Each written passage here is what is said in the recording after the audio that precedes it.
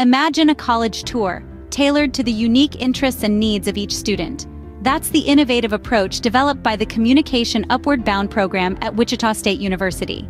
Instead of settling for the standard, one-size-fits-all campus visit, this program collaborates with host colleges to create a customized experience. Picture this, a tour that doesn't just show students the campus, but connects them with the resources, programs, and opportunities that align with their aspirations. This isn't a mere walk around the college grounds, but a targeted, personalized journey into their potential future. The result? Increased student interest and engagement. No longer passive observers, students become active participants in their college exploration. A promising practice indeed approved on September 25, 2013. This is not just a college tour, it's a roadmap to success.